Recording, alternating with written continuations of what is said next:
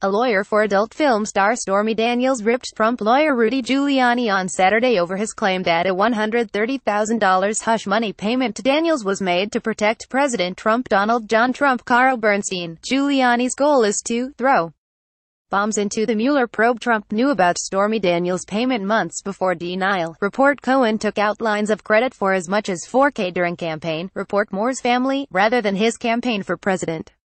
Michael Avenatti suggested in a tweet that if Giuliani's claim were true, the payment would have been made sometime during the nine years after Daniels's alleged affair with Trump, rather than days before the 2016 election. Let's test this most recent claim. Avenatti tweeted. For over nine years after the end of the affair 2007, 08, 09, 10, 11, in touch 12, 13, 14, 15, and 16, January to Sept Mr.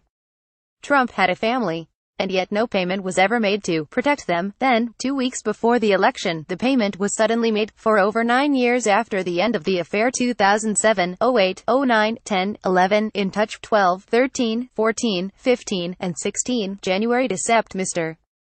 Trump had a family, and yet no payment was ever made to protect them. Then, two weeks before the election, the payment was suddenly made.